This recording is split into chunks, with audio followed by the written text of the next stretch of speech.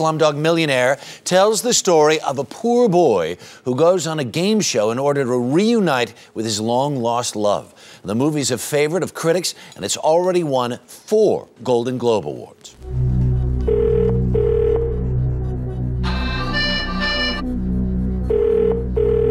You are on your own, Jamal.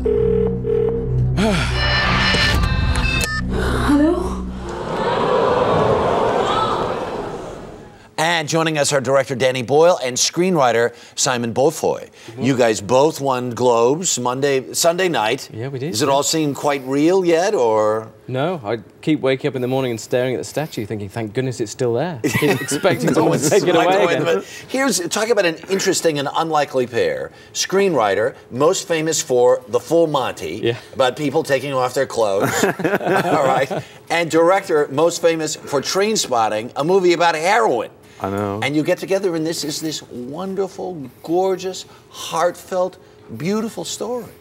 Well, it, actually, I remember the Full Monty, and it was one of the most warm, inclusive, you know, uh, pieces of screenwriting I'd ever witnessed in a, in a, in a cinema. You know, it's really include. It didn't exclude anybody from Right. the experience, and that's quite rare to find. You know, and yet it's also very honest about people's lives. Yeah.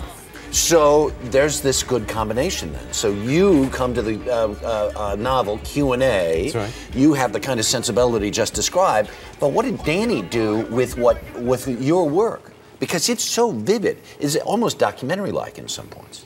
But there, there, are, look, there are some directors who shoot your script, and then there, once in a blue moon, a director comes along like Danny who makes it fly, and you can just feel in the film the energy of that city, Mumbai. It's got amazing energy, and Danny is the most energetic director that's ever lived. Uh, had you, you, had, had you ever been to India before? No, I don't know. That was my first time.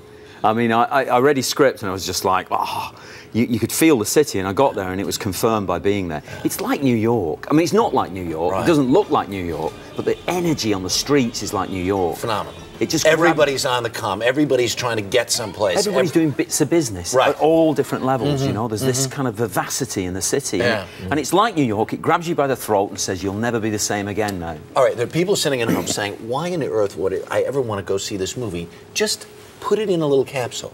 Story of a boy through horrible circumstances ends up on this game show. Why should we care about it? I think it's because it's a story about hope, really, at the end of the day. And right now, when financial markets crashing all over the world, this is a film about someone who goes on this show that's all about money, you know, who wants to be a millionaire. And actually, he doesn't even want to be a millionaire.